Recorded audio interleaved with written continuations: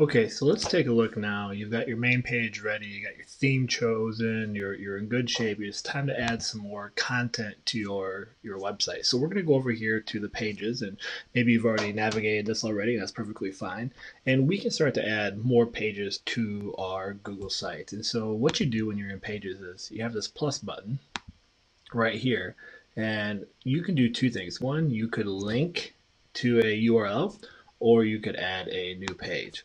And so this new page here, um, maybe I just want to give this a, a, place for my bio. I'm just making these things up here on the fly. Um, I'm gonna call this level Lego.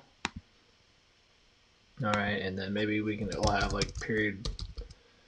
Oh, let's let's call it uh, you know my U.S. history class, whatever, just for example. So we can create these, and you're gonna notice that they're showing up over here. The other thing is with this default menu, um, it starts to show up up top as well. So any of these things in the first tier will show up as you go across.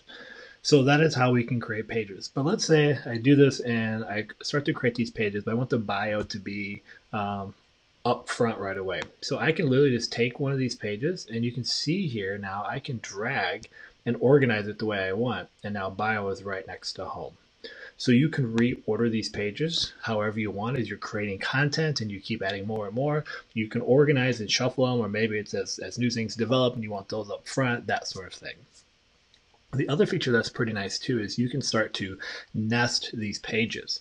Um, so what I mean by that is, let's just say, um, so I call this Lego 1 here, for example.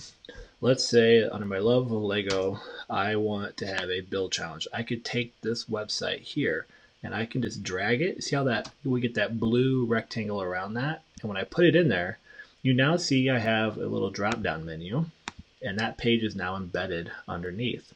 You'll also notice that I have a little arrow, a little caret for a drop down menu for those pages as well.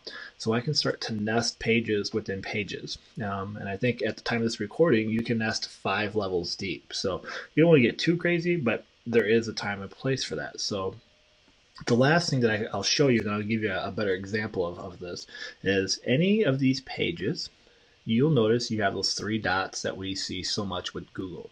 And if I click those three dots, I get some options. Uh, the first one, I could take this page and make it the home page.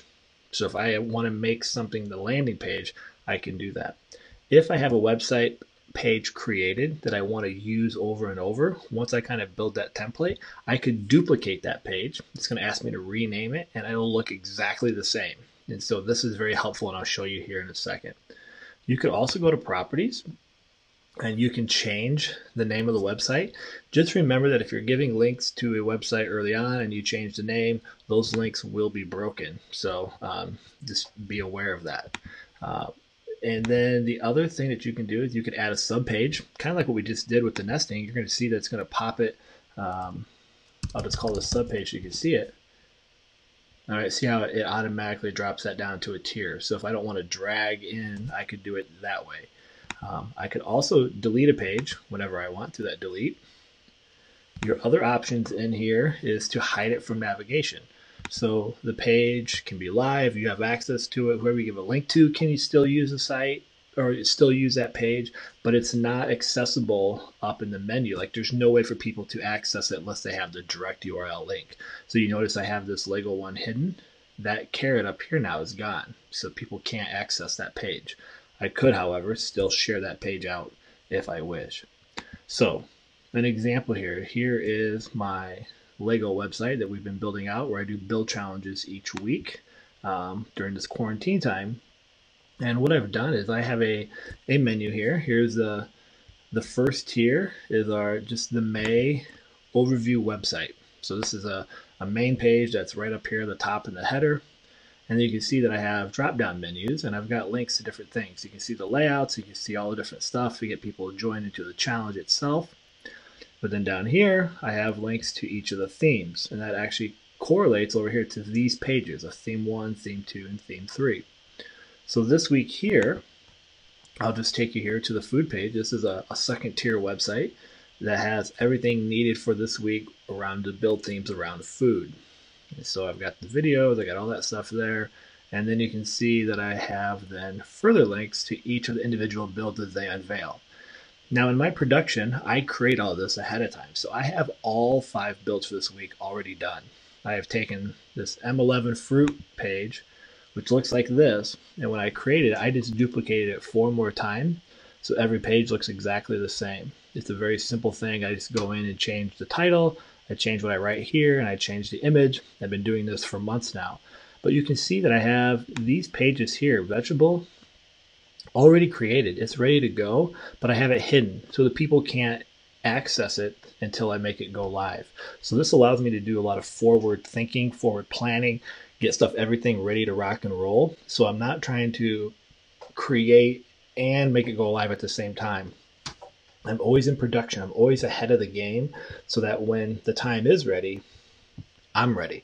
Um, so this just gives me time to kind of play around with that. And you can see that that's, once again, these pages are a third tier, the, the third tier in. Um, so when we go live on this website, okay, you're going to notice here, um, here is the, the May challenge. Here are these different themes. So if we were to go here to the food theme, all right, we can see this work here. And then there's no access to these other builds, even though they're ready to go. But I can go to the submission, and it's going to then navigate over to this build. So just to give you an idea of what one of these looks like.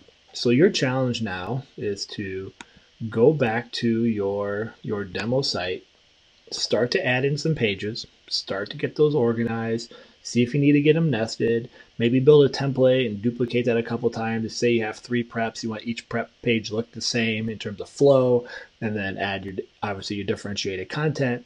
Um, I want you to work on now adding a few pages to get your website organized, and this would also be a good time to make sure that your theme and your colors and all that stuff look the way you want it.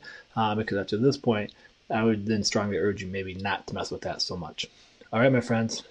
As always, stay awesome. Peace.